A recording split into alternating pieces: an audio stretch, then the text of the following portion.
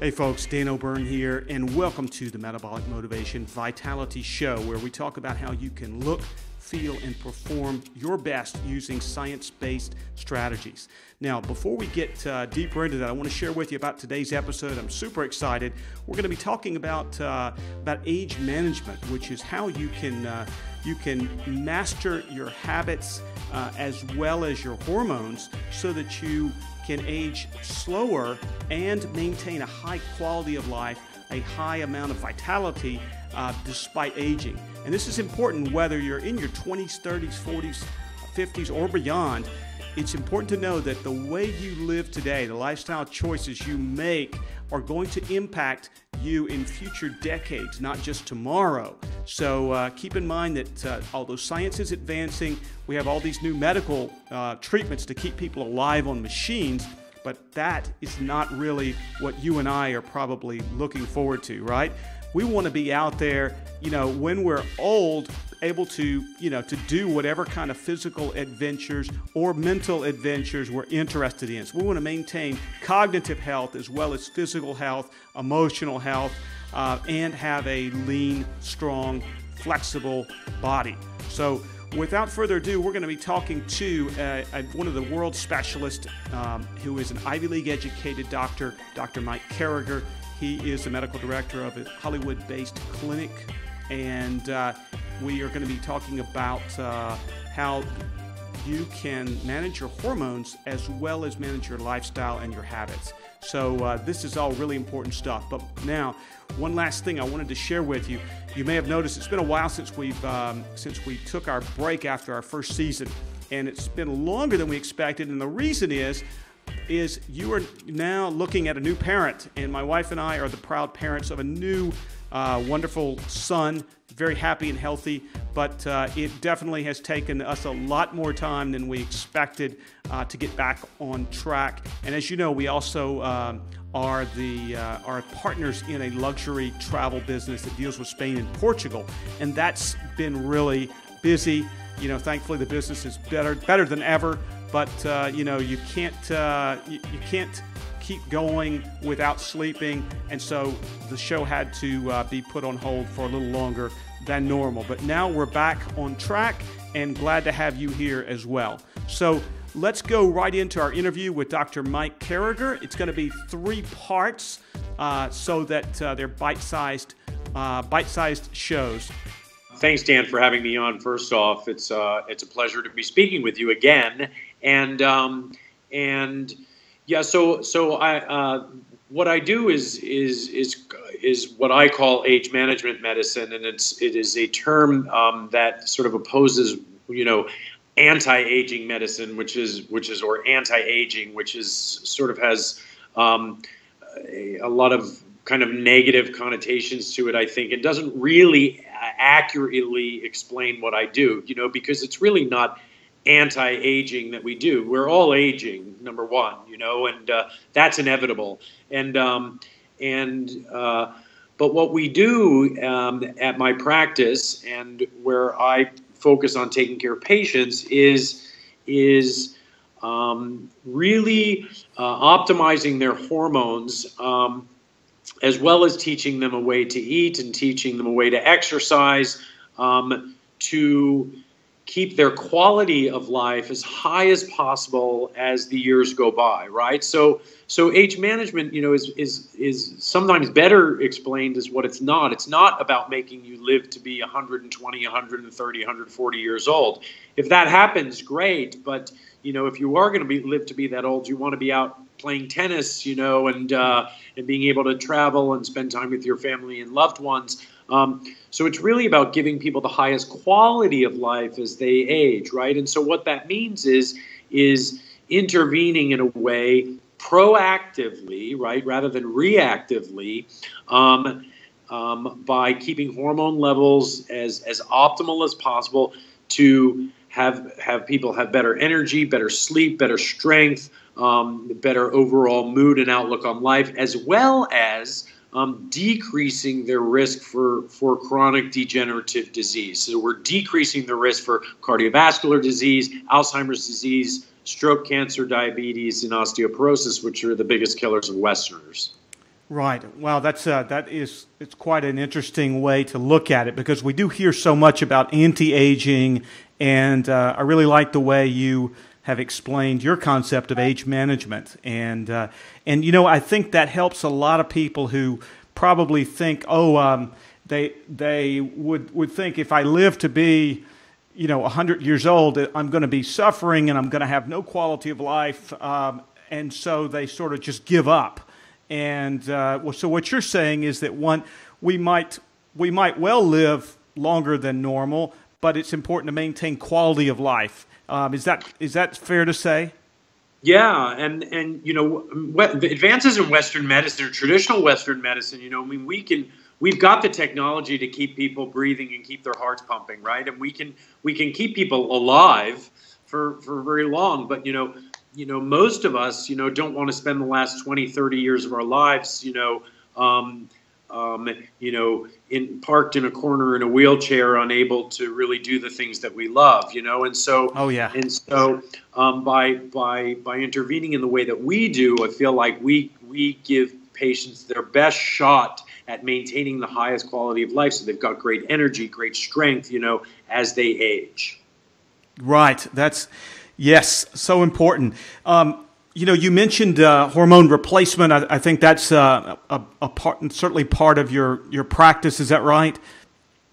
Yeah, it's really the cornerstone of what I do. You know, and so what typically what happens, and and you know, um, it, it happens. Uh, it's actually happening at younger and younger ages. Uh, really, I have I have guys coming to see me in their in their late 20s now who are suffering from hormonal decline, and women the same.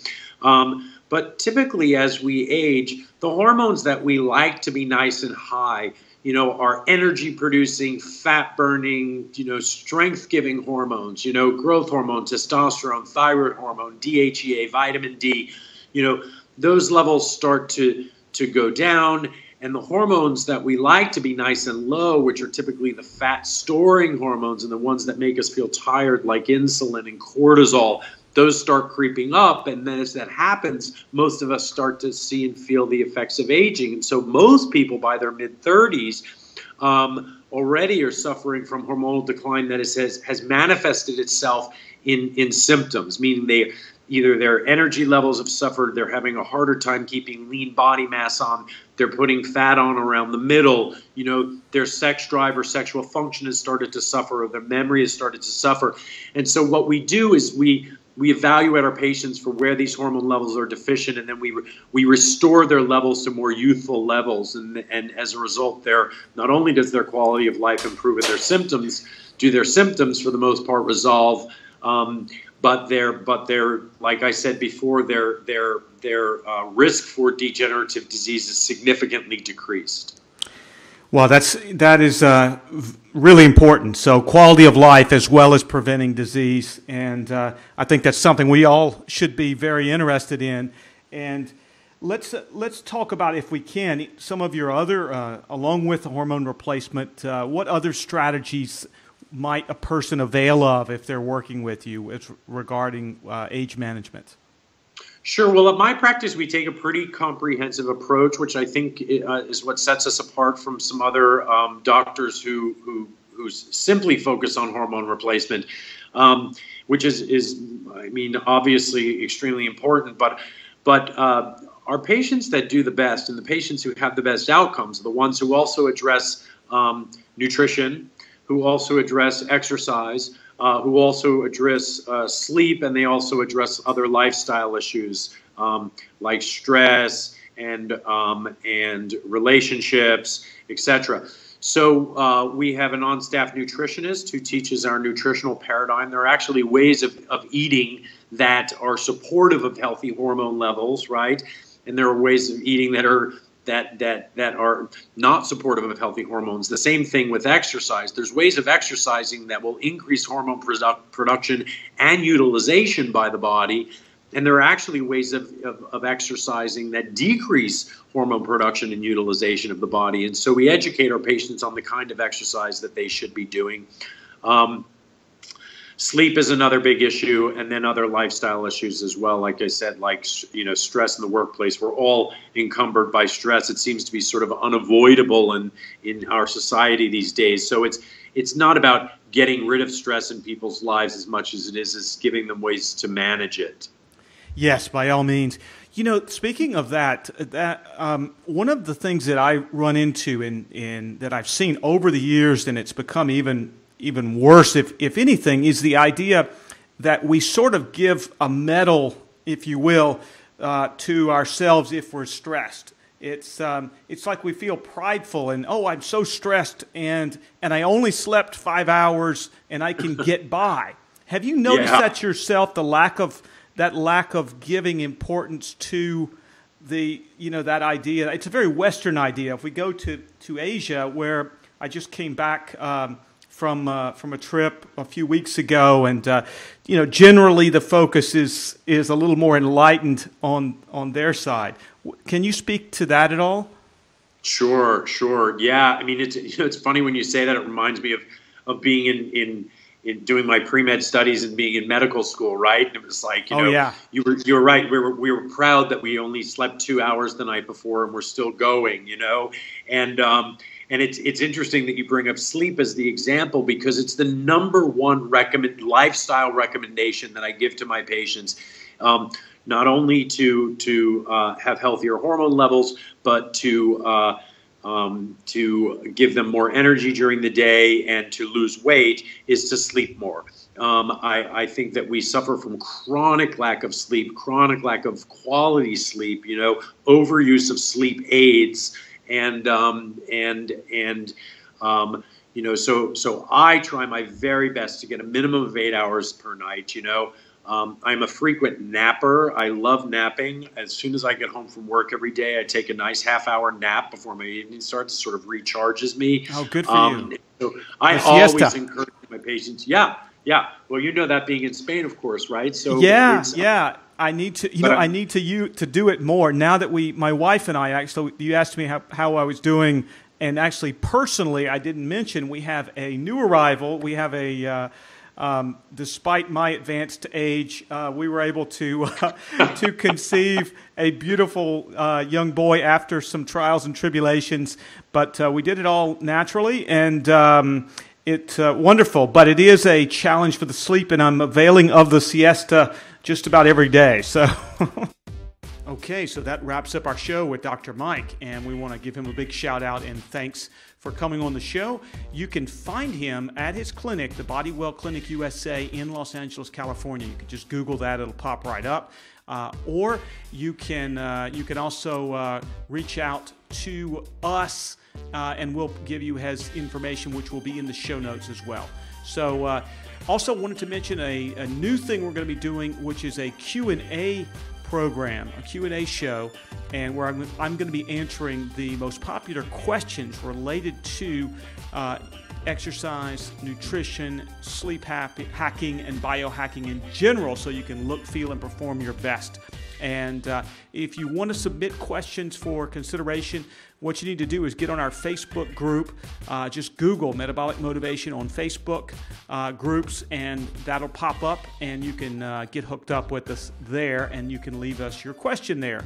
Also, uh, if you want to fast track your results and you feel like you want to get a really personalized, expert design program for you, your lifestyle, and your special needs, uh, we do have a few spots for our VIP private coaching program. It is an eight week accelerated program to reboot your metabolism and your lifestyle habits so that you can look, feel, and perform your best faster and maintain it. Okay, so it's all about sustainable, science based programming. So, um, Check us out uh, for any other thing online at our web, metabolicmotivation.com. Thank you so much for uh, stopping by. And uh, if you'd like to share our program, we'll be uh, ecstatic and appreciate that as well. So I uh, look forward to seeing you in the future. Dan O'Byrne, over and out.